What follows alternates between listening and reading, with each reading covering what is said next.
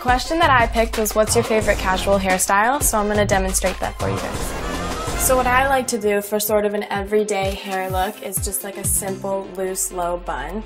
Um, just because it's very cute and easy. And I start off by curling my entire head, but how I do it, I take little pieces and I take a curling iron, holding it there for a second, and then just letting it go.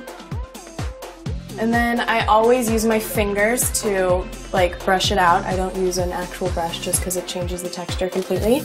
And then I just take it and kind of roll it, let a couple pieces fall in the front, and then just put it up with your favorite little hair tie. I like the little cute ones. And then you kind of mess it up, and then you're done.